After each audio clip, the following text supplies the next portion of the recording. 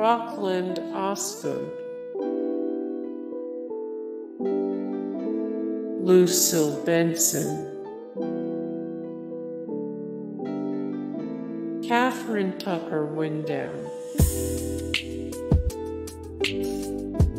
Andrew Hudgins, Harper Lee.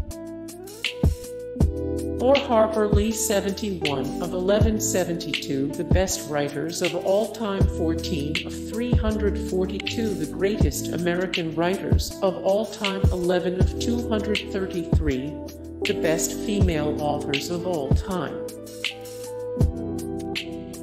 Jeff Sessions. Guys, thank you so much for the support and likes and comments down below and also thank you so much for watching and I look forward to see you in the next video then. Take care. Bye.